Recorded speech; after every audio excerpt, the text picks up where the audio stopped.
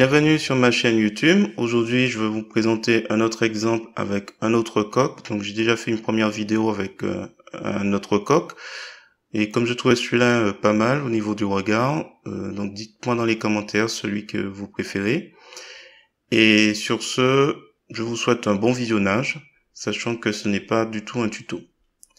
Alors, comme précédemment, on sélectionne, on détourne le coq, on fait un copier on retourne sur le projet où il y a le drapeau en arrière-plan, on fait coller nouveau calque, et après il s'agit juste de placer euh, le, le coq, et ensuite euh, je détourne, ou plutôt j'utilise la gomme pour retirer toutes les parties qui, ont, qui sont restées, qui, qui sortent un peu, qui ne correspondent pas en fait au, coq.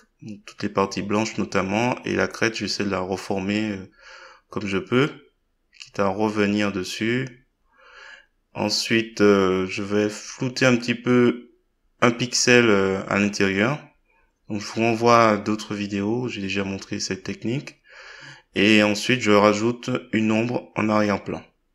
Donc, l'ombre, euh, juste pour donner, il sera peut-être à revoir. Bon, globalement, c'est la même technique que l'autre, sauf que ce n'est pas du tout le même, euh, le même, la même espèce. Voilà. J'espère que cette vidéo vous a plu. Si c'est le cas, je vous remercie de mettre un pouce vers le haut et me laisser un commentaire. Et n'hésitez pas également à vous abonner à ma chaîne pour voir d'autres contenus de ce genre. Et sur ce, je vous dis à bientôt, soit sur LibreOffice, GIMP ou Gemic.